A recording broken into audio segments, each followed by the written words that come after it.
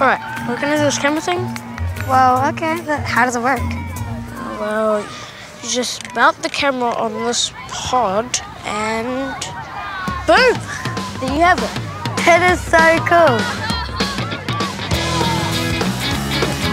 Hey, I'm Duane. And I'm Hinetaapora.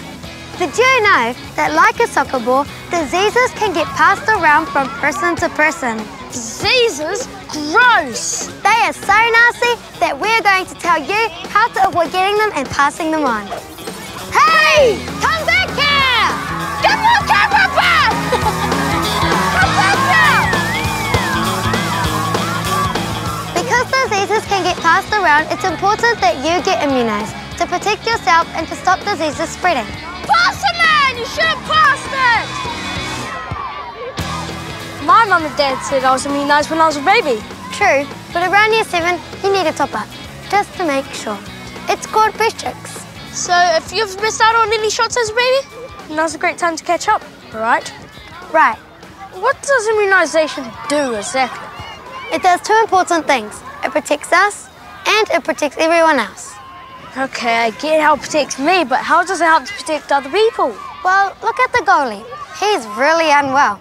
He is so sick right now that he can't be immunized. This makes him vulnerable. Now imagine that the soccer ball is a nasty disease.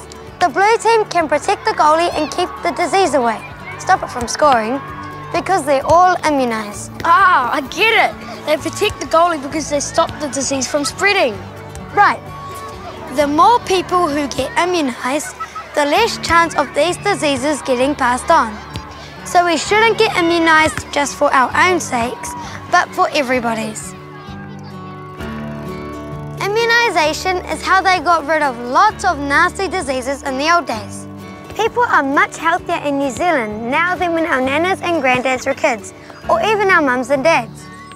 But we can't be too careful. That's why we're going to get ourselves immunized. So these days, what do we need to get immunized for?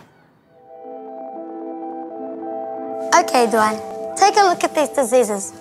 But I'm warning you, they're really gross. This is diphtheria.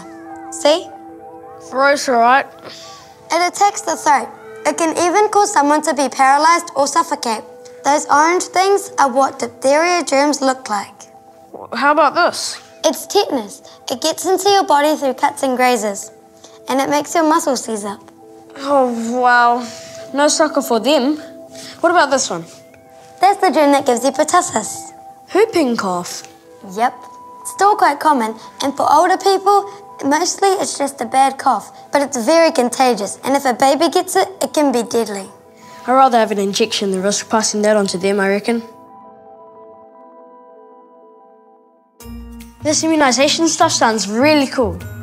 The only thing is, What? nothing. Come on. I don't like injections. You're scared? No, of course not.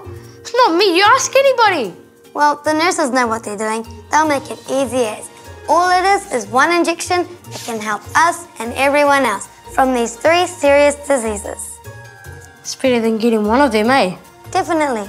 Do you know how that injection works? I know it helps your immune system. Your immune system makes special blood cells and antibodies that attack any harmful bug that gets into your body. What I don't know is how does that little injection help? So when you're immunized, the nurse injects a tiny amount of the bug into your arm. But that would make you ill. No, Duane, it's like soccer. What? Each team wears a different colored shirt, so you know who's on your side and who isn't. You can recognize an opponent right away and deal with them. That little bit of the bug you get from the nurse has been specially treated so it's too small and harmless to give you the disease. But it's just like the team yellow shirt. It's all your immune system needs to recognize the opposition. If you ever get the germ for real, your immune system already knows what it is and can kill it before it can harm you. Wow, that's amazing. Tell you what, let's go and see the school nurse now. Good idea. She could tell us more about it. Oh, grab this. yeah. Hi, nurse. Hey guys, how's you going? Good. What you got there? It's our camera. Oh, Yeah, can I go? want to see it? Yeah, cool. Well, what do I do with it? Just move around. Oh, oh, whoa, oh, whoa. No, Makes you feel it back. really? We'd hope you tell us a bit more about immunisation. So we can boost our immune system. To protect against diphtheria, tetanus, and per... Pertussis. You know, whooping cough. Sounds like you know a fair bit already. But sure, I can give you some tips for when you come back next time. Thanks. I've heard some kids react really badly to an injection. Hardly ever, but it can happen. You probably won't have any side effects at all. A few people feel a little dizzy, sick, or get a fever or a headache after their vaccination. This is normal and should get better on its own. There are things you can do to help. Make sure you have breakfast or lunch before your injection. Even a snack before or afterwards will help stop you feeling faint. The injections are done in your upper arm, so wear a loose shirt, preferably with short sleeves. Take things easy afterwards. Your nurse will keep an eye on you after the vaccination and will provide you with all the advice you need. If you've reacted badly to an injection before, or even if you've just been ill lately, somebody in your family should ask the doctor or practice nurse if it's okay for you to have the immunisation. If you have asthma, allergies, or you're getting over something not too serious like a common cold, you can still be immunised.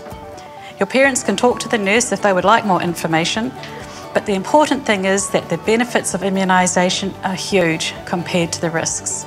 Not that I'm scared or anything, but Yes, you are. You want to know if it hurts, right? It doesn't really hurt. It's over quickly, and it just feels a little tender. That's really normal. Let's go and see what some other kids thought. I thought it was um, gonna be uh, really, really sore, but it actually just was like a little pinch. I thought the needle was going to be about this big, but it was actually this big. I was a bit nervous. I think everyone was, but it was fine. Then the nurses were really nice. I looked away and she put the needle in and she took it out and I said, Have we, um, are we going to do it now? And she said, it's done. I had a bit of a sore arm for a few hours, but it didn't last very long. So I didn't even know it was doing it. See, not a problem. Still, in about one in a million cases, an allergic reaction can occur. But we nurses are trained to deal with it, and as I said before, problems are very rare indeed. They're all covered off in this form.